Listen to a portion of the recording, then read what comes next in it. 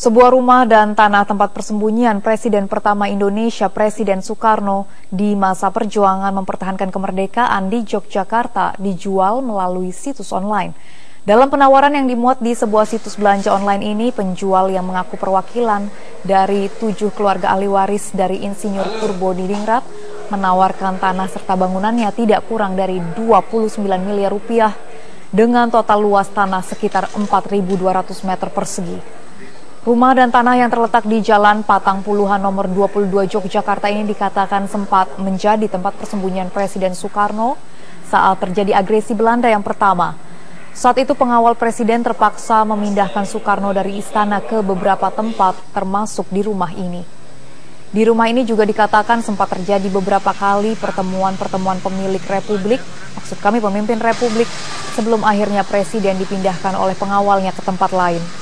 Beberapa penawar dikatakan telah mendatangi rumah tersebut, namun nampaknya hingga kini rumah tersebut belum terjual. Direktur Masyarakat Advokasi Warisan Budaya Madya Yogyakarta, Jo Marbun menyatakan pemerintah harus lebih tanggap pada persoalan ini. Apabila memang rumah tersebut dapat divalidasi memiliki nilai sejarah, maka usaha penyelamatan menjadi cagar budaya harus juga diupayakan oleh pemerintah tanpa merugikan pemilik sah atas tanah dan rumah tersebut.